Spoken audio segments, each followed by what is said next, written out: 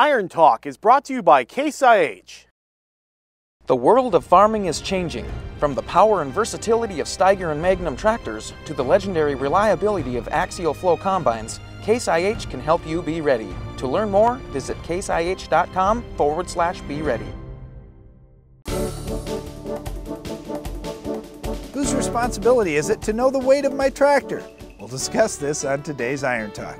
We had a huge field day on our farm this year. In fact, we used trolleys to pull people around. We wanted a tractor that was easy to run and gave us great visibility, so we got a Case 105U utility tractor. Here's the problem though. In order to deliver the tractor safely, the dealer put 17 pounds of pressure in each of the tires to fully inflate them for shipping. You see, when they haul tractors around, if the tires are fully inflated, the tractors don't bounce or sway on the trailer. Well, when the tractor was delivered to pull the trolley, we figured the smartest thing to do would be to weigh the axles and figure how little tire pressure we could get by with.